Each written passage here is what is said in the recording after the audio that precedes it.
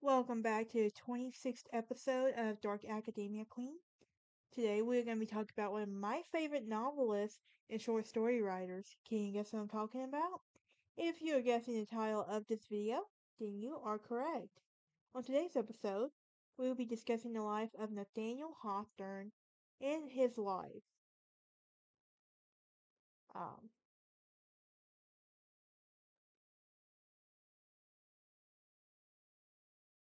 So, you might recognize this from. I'm going to read something. I'm going to read an excerpt and see if you can guess which, where I'm getting this from. Are you ready? The founders of a new colony, whatever the utopia of human virtue and happiness that might originally pro- project, have invariably recognized it among their earliest practical necessities to allot the portion of the virgin soil as a cemetery and another portion of the site of a prison. In accordance with the rule, it may safely be assumed that the forefathers of Boston had built a first prison home somewhere in the vicinity of Cornhill. Almost seasonally, as they marked out of their first burial ground on Isaac Johnson's lot, round about his grave was such subsequently becoming the nucleus of all the congregated sculptures of the old churchyard of the King Chapel. That is from that excerpt is from the Scarlet Letter, one of my personal favorites. They even did like a sort of a you might recall a movie um a while back with um Emma Stone in it a while back, um Easy A, where they kind of like a simu semblance of that and somewhat. Um really funny. I do recommend going and watch it by the way. But Nathaniel Hawthorne was an American novelist and short story writer. His works focused on history, morality, and religion. He was born in Salem, Massachusetts. Hint, hint. That's gonna be my our next episode. We're gonna do a two episode part on the history, haunted history of Salem, Massachusetts, in our next episode, two episodes. So tune in for that. Um, but anyway, he went to Bowdoin College in 1821 and was elected Phi Beta Kappa in 1824 um, and graduated in 1825. And he first he published his first work in 1828, and which was later suppressed um, to to not feeling equal to stand up to his later work. He also published several short stories, periodical in which he collected in the 1837s as Twice Told Tales. That following year, he would get engaged to Sophia Peabody. He would work at Boston. He worked at Boston Custom House and drawing Brook for him before marrying Sophia in 1842. The couple would also move to the old manse in to, to old, the old manse in Concord, then to Salem, then to Berkshires, and then to the Wayside in Concord. And the Scarlet Letter was published in 1850, following, followed by a succession of other novels. A political appointment as consul took um, Hawthorne and his family to Europe, before they would return to Concord in 1860. He would die May 19th, 1864. Um, now, much of his writings center on New England. Many of his works feature moral metaphors with the anti-Puritan inspiration. His fiction work is also considered part of the Romantic movement. Um, and his themes often center on the inherent evil and sin of humanity.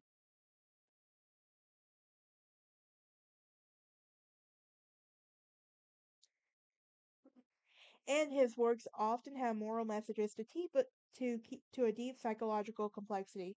He published his his published works include novels, short stories, and a biography of his friend, college friend Franklin Pierce, um, written for his 1852 campaign for the president of the U.S., in which Pierce won, becoming the 14th president.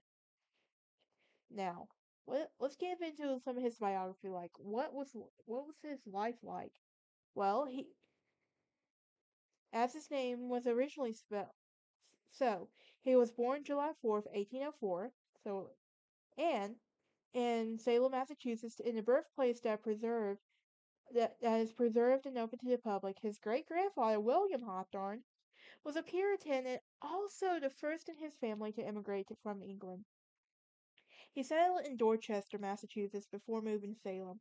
There he became a member of, of the Massachusetts Bay Colony and held many p- political positions, including magistrate and judge, becoming infamous for his harsh sentences. Um, William's son, um, Hawthorne's great great grandfather, John Hawthorne, was one of the judges who oversaw Salem witch trials, and Hawthorne probably awarded the W to his surname in his early 20s, shortly after graduating from college, in an effort to disassociate himself from his notorious forebears. Hawthorne's father, Nathaniel Hawthorne, um, Sr., was a sea captain who died in 1808 of yellow fever in the Dutch Suriname.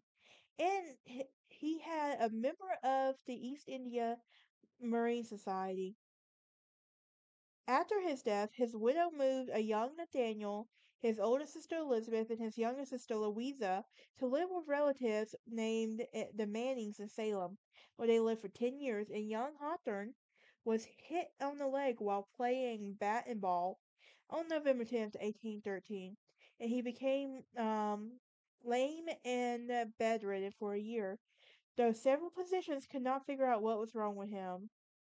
What was his childhood like in Raymond? Well, in the summer of 1816, his family lived in boarders with farmers before moving to a home recently built specifically for by them for them for Hawthorne's uncles Richard and Robert Manning in Raymond, Maine, near Sebago Lake. And years later, he looked back at his time in Maine fondly. In 1819, he was sent back to Salem for school and soon complained of the homesickness uh, of being too far from his mom and sisters. He disturbed seven issues, distributed seven issues of the Spectacular to his family in August and September of 1820 for fun. The homemade newspapers was written by hand and included essays, poems, and news of featuring the young author's Alice's humor. Now, Nathaniel's uncle, Robert Manning, insisted that he attend college, and despite his protest, he did. With the financial support of his uncle, he was sent to Bowdoin College in 1821, partly because of the family connections in the area, and also because it was relative, relatively inexpensive as far as tuition went. What's inexpensive? Okay, what is inexpensive tuition? Let me know. That would be nice right there. Uh, wh- what I would give to have my tuition paid paid in full. That would be lovely. But Nathaniel met his future president, met future president Franklin Pierce there on the way there, and at the stage stop in Portland, and the two became fast friends. Once in school, he also met future poet Henry Wadsworth Longfellow, future Congressman Jonathan Cilley, and future naval reformer Horatio Bridge. He graduated from with the with the class of 1825 and was described later described his college experience to Richard Henry Stoddard. He, that he was an idle student, um, negl- negligent of college rules, and prescription details of his academic life, and choosing to nurse his own fancies and digging into Greek and numbered many um, among the Lorne cabins. Now, Boston College House. Um, now, he's, his first published work was Fanshawe, um, a tale based on his experience at Boston College and appeared anonymously in October 1828, printed at his own expense of $100. I'm pretty sure that was a lot back then, too. Although it was received generally positive reviews, it didn't do, sell well, and he published several minor pieces in the Salem Gazette. In 1836, he served as the editor for the American Magazine of Useful Entertaining Knowledge. At the time, he boarded with poet Thomas Green Fasten on Hancock Street and Beacon Hill in Boston. He was offered an appointment as Regner and Gauger, Gauger at Boston Custom House at a salary of fifteen hundred a year. That that must have been a pretty no, is that like a pretty decent amount then? I am curious on that. Like nowadays you could even you can't even make that much make it off that much in today's economy.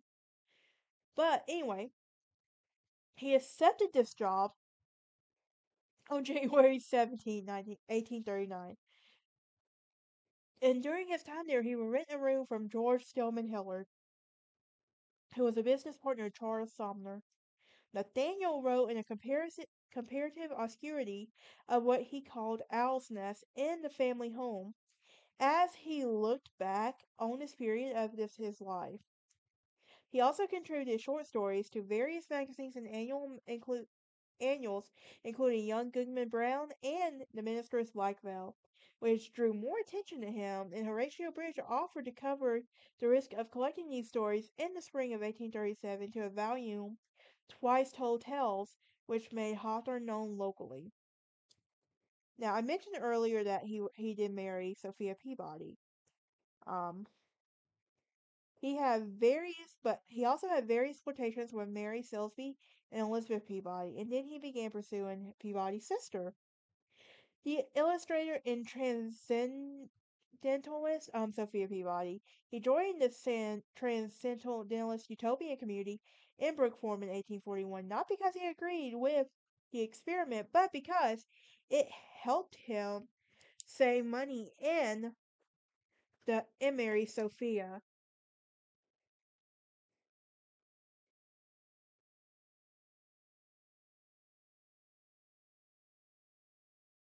Sorry guys, I got sidetracked for a second.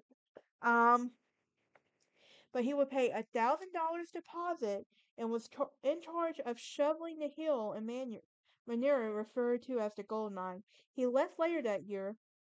Though, though his Brook Farm adventure became an inspiration for his novel, The Blithedale Romance, he also he would marry Sophia July 9, 1842, at a ceremony at the ceremony um, in the Peabody Peabody Parlor on West Street in Boston.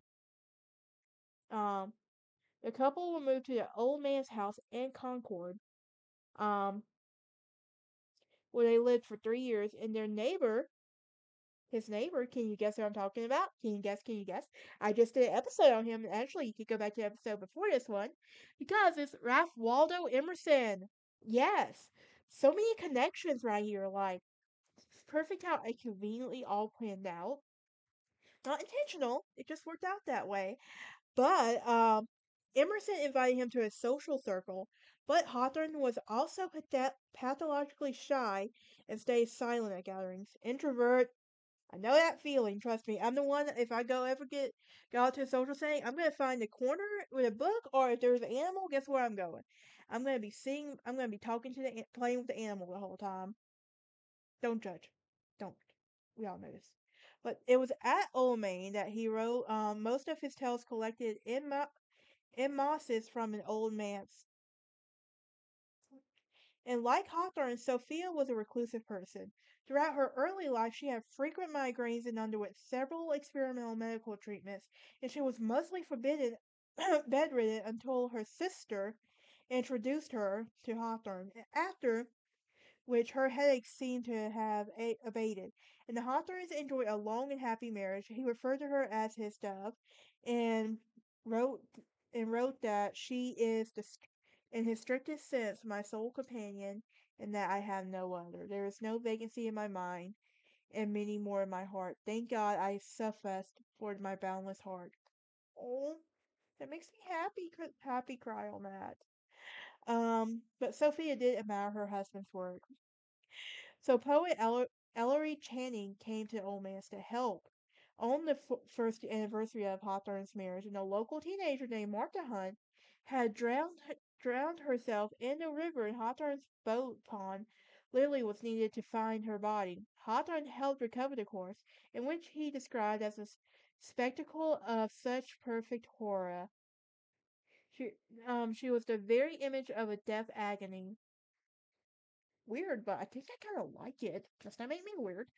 Um, but anyway, the incident later inspired a scene in the novel The Blithedale Romance. Now, the Hawthornes had three children. The first was Una, who was born March 3, 1844. Her name was in reference to the Fairy Queen, to the displeasure of family members. Um, in October in October 1845, the Hawthorns moved to Salem. Their son Julian was born, and then they had and then Hawthorne wrote to his sister Louisa on June 22nd, 1846, saying a small troglodyte made his appearance here ten, at 10 minutes at 6 o'clock in the morning, who claimed to be your nephew. Then they would have a daughter, Rose, in May of 1851, and Hawthorne called her his autumnal flower. Can imagine these kids were like, really, Dad, just rolling their eyes and all of that and everything? So, like, whenever he would make assertions like this. But anyway, in April of 1846, Hawthorne was officially appointed the surveyor of the District of Salem and Beverly and inspector of revenue for the Port of Salem. Of his annual salary of $1,200, he had difficulty writing during this period and was admitted to Longfellow.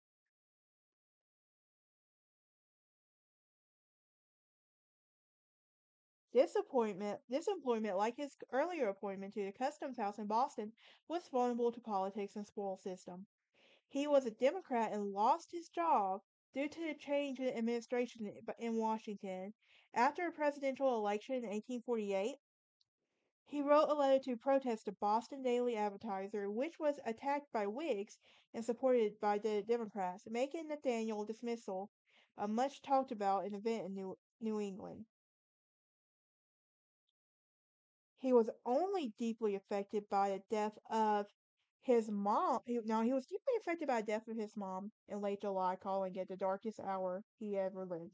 I have a feeling he was a very he was a very dramatic person. Looking back now, like thinking about it, he was probably very dramatic if I had to guess.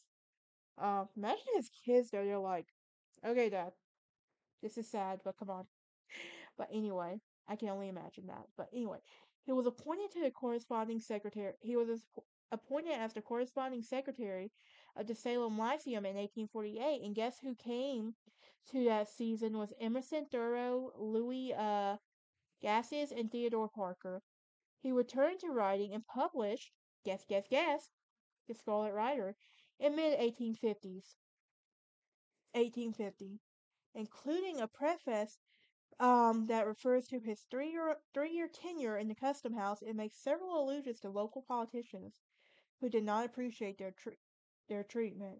And it was once one of the first mass-produced books in America, selling 2,500 volumes within 10 days and earning him over $1,500, 14 over 14 years. The book was pirated by bestsellers in London and became a bestseller in the U.S. and initiated the most lucrative period his most lucrative period as a writer. His friend Edwin Percy Whitby objected to the novel's morbid intensity and its dense psychological details, writing that the book is therefore apt to become, like Hawthorne, too painfully ana- in his exhibition of them. While the 20th century writer D.H. Lawrence said that there could be no more perfect work of American imagination than The Scarlet Letter. Now, Hawthorne and his family moved to a small wet farmhouse near Lenox, Massachusetts at the end of 1850, and he became friends with Herman Melville.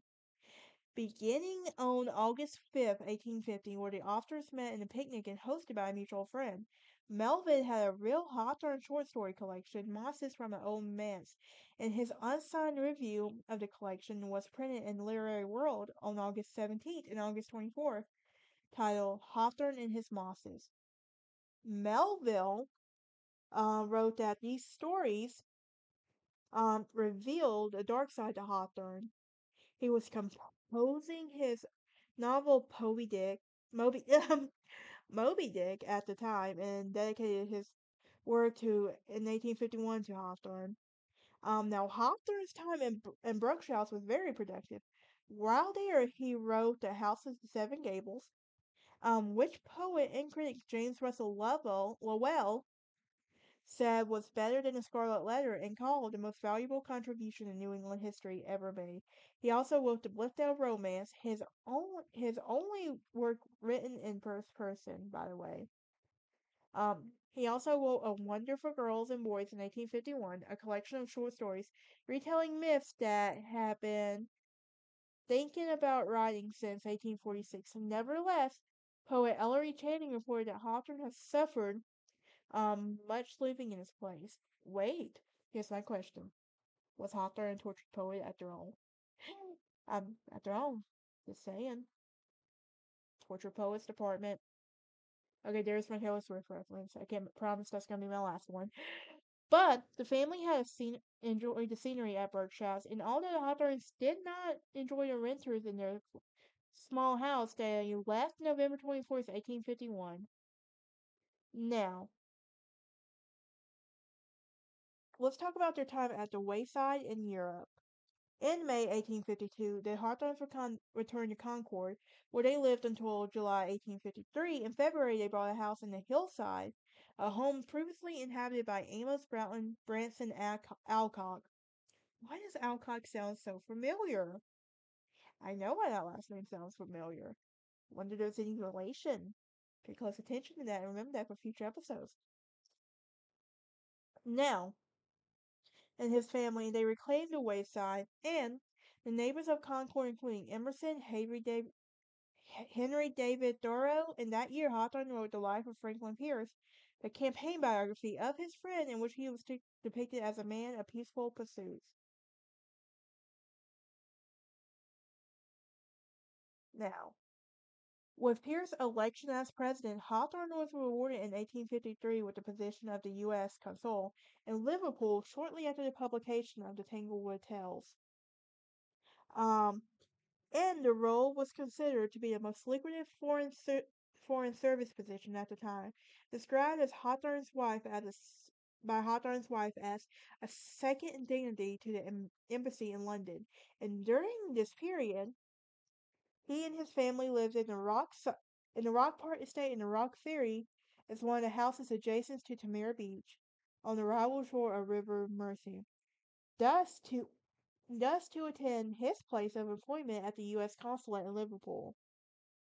Now, Hawthorne would have been a regular passenger on a steamboat operated by Rock Ferry to Liverpool Ferry service, departing from Rock Ferry Slipway at the end of Bedford Road. His appointment ended in 1857 in the close at the close of Pierce's administration. The Hawthorne family toured France and Italy until 1860. And during the time in this time in Italy, a previous clean-shaven Hawthorne grew a bushy mustache. Um, the family returned to their wayside in 1860, and that year they saw the publication of Marble Faun, the first new book in seven years, and he admitted that he aged considerably, referring to the book as a Wrinkled time and trouble. So, what about his later years? Um, at the outset of the American Civil War, he traveled with William D. Ticknor to Washington, D.C., where he met Lincoln and other notable figures. He also wrote about his experiences in essays, chiefly about, about war matters, in 1862. Now, fallen health prevented him, falling health, failing health prevented him from completing several more romance novels. Um, he was suffering from pain in his stomach and insisted on a recuperate, recuperated trip with his friend Franklin Pierce, and through his neighbors, Bronson Alcott, he was concerned about a Hawthorne was too ill. While on tour at the White Mountains, he died in his sleep May 19, 1864, in Plymouth, New Hampshire. Pierce sent a telegram to Elizabeth Peabody asking her to inform Mrs. Hawthorne in person. Sophia was so saddened by the news um, to handle the film arrangements herself. Her son Julian was a freshman at Harvard College and learned of his father's death the next day. Coincidentally, he was initiated into Delta Kappa Epsilon fraternity on the same day by being blindfolded and placed into a coffin. Irony, if you call it that. But Longfellow would write a tribute poem to Hawthorne published in 1866 called The Bells of Lynn.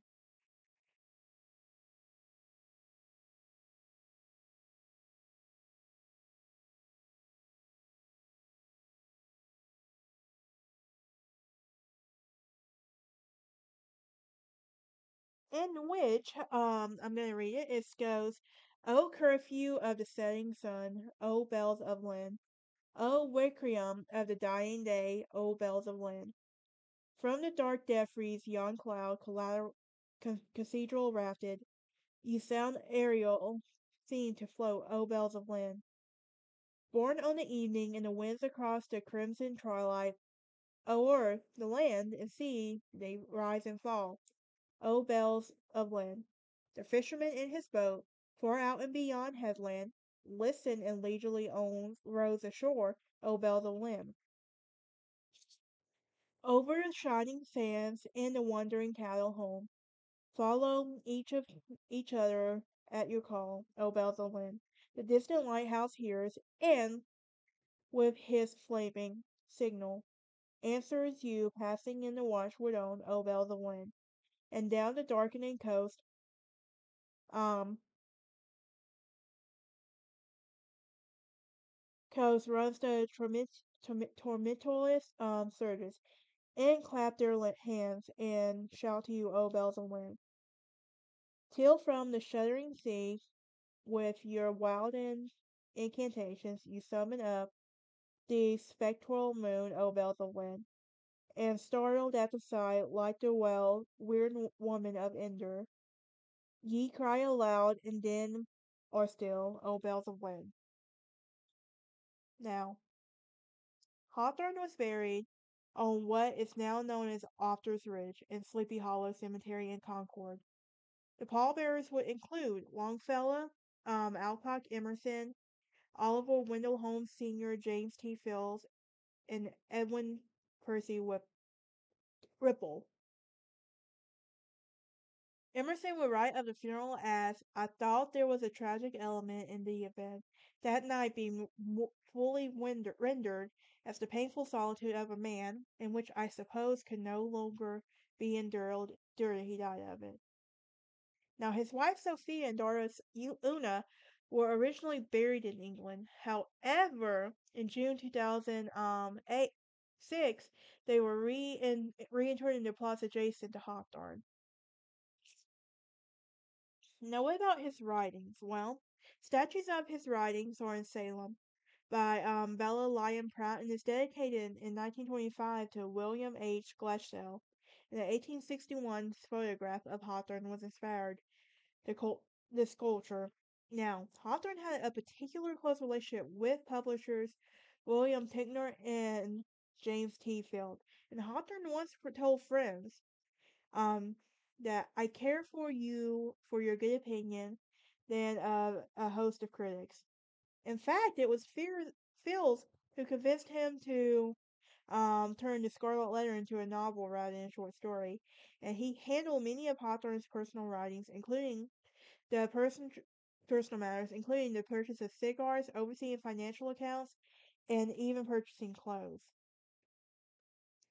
Ticknor would die with Hawthorne at his side in Philadelphia in 1964.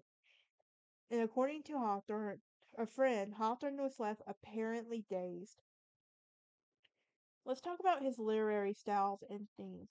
His work belongs to Romanticism, or more specifically, Dark Romanticism. Cautionary tales suggest of guilt, sin, and evil, of the most inherent natural qualities of humanity. Many of his works are inspired by Puritan um, New England, combining historical romance loaded with symbolism. And his depictions of the past are versions of historical fiction used only as a vehicle to express themes of ancestral sin, guilt, and retribution.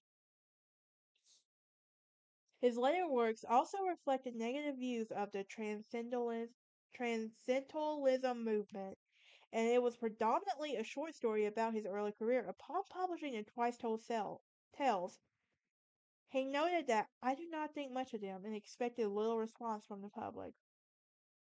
His four major romances were written between 1850 and 1860, and this includes The Scarlet Letter, The House of the Seven Gables, The Blithedale Romance, and The Marble Farm.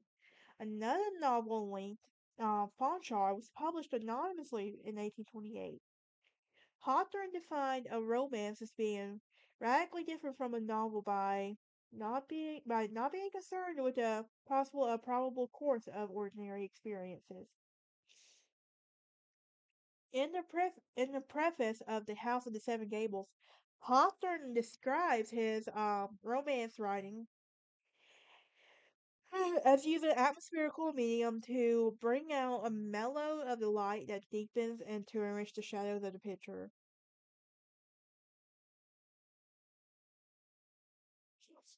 Now, critics have applied feminist perspectives and historicist approach to his this depictions of women. And here's the thing: you've got to remember, at this time, women were not considered people; they were considered property. Um, but Lauren um Berlant termed Hester um the citizen of a woman.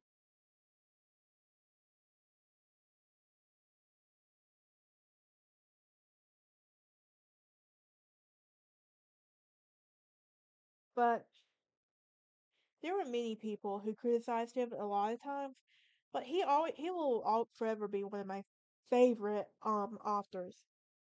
Now, there is some critical reception. His writings were well received at the time. Contemporary response praised the sentimental and the morally the moral purity and the modern evaluations that focused on the dark psychological complexity.